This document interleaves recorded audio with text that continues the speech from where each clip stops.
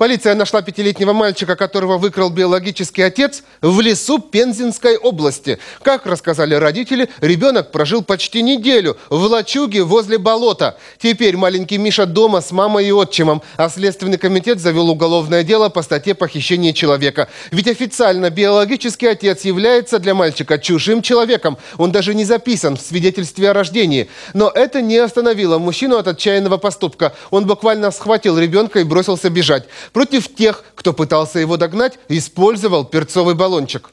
Супруга у меня пристегивала младшую дочь, 10-месячную. Я в это время собирался погрузить коляску э, в багажник. Э, Замечаю, что к нам подходит э, мужчина в зеленом капюшоне. Он начал выхватывать ребенка, на что она его отталкивает. Начала она его отталкивать. Меня начинает подать дочь, она пристегивает дочь, он обходит машину, открывает ее и вытаскивает ребенка из машины. Пятилетнего Мишу искали по всему Челябинску, а нашли в болотах в Пензенской области. Там похититель оставил мальчика своей сожительнице. вернулся весь искусанный.